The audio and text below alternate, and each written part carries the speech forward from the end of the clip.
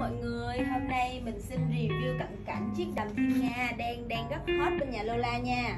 Chất liệu vải là vải voan xốp rân, có những chi tiết rân nhỏ như thế này tạo cho chiếc đầm có một cái dáng vẻ rất là bồng bềnh, nhẹ nhàng, thánh thoát. Phía trước là những đường xếp ly rất là tỉ mỉ Và mình sẽ cho các bạn xem phía sau nha. Phía sau nó sẽ có một cái bảng smoking để có thể ôm trọn vòng một của các bạn Và một cái đường khách out ở eo tạo sự thoải mái cho đường eo của mình.